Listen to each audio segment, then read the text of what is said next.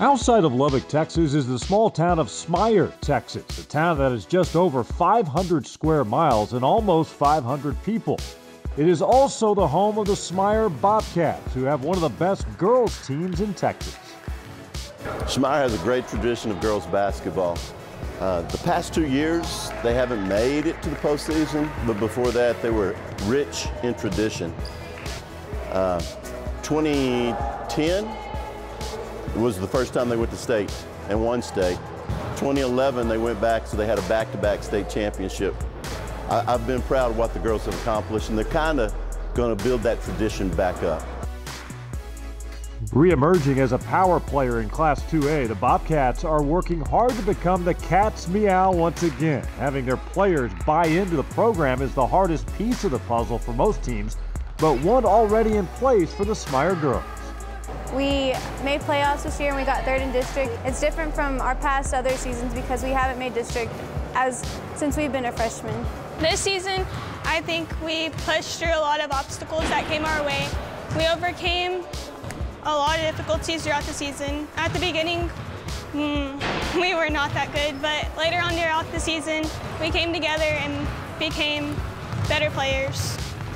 The 2018-2019 season started that rhythm for the Bobcats, winning enough games to get them into the playoffs and even their bi-district round against McCamey High School. I consider it a season of success because, like I said before, the past two years we didn't make playoffs at all. The, my sophomore year, we won one district game, and the year last year, we almost made it to playoffs, and this year we just, I think it was a really good success. Great group of girls. They work hard, which makes my job, that does half my job for me. You know, I take my philosophies everywhere I go, but the thing that makes it work is kids that are willing to work and get better. And that, that's these kids. They work hard, and, and the chemistry was really good this year. But whether they are winning or losing, the Bobcats girls basketball team knows that success isn't their record, but their faith in one another. I want them to continue to stay together and be play as one instead of play individually. I was proud of what they accomplished.